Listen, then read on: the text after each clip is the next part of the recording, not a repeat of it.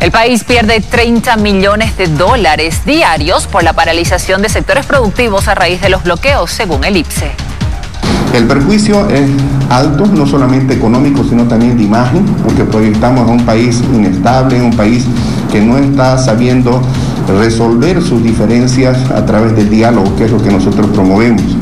El Instituto Boliviano de Comercio Exterior ve con preocupación las medidas que lleva adelante el sector del transporte.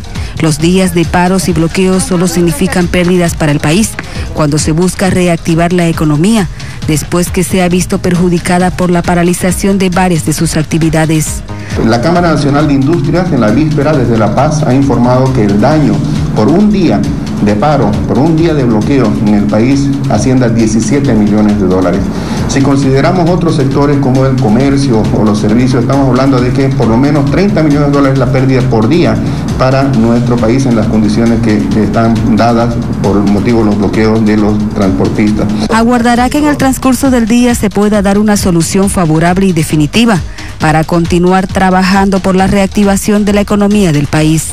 Si el gobierno cede a este pedido del sector de transporte, todos los demás sectores lo van a tomar como una señal de que eh, sus reivindicaciones se tendrán también que resolver a través de paros, huelgas o bloqueos. Y eso nos puede llevar a la anarquía, nos puede llevar al caos. Para evitar más pérdidas, llamó al diálogo.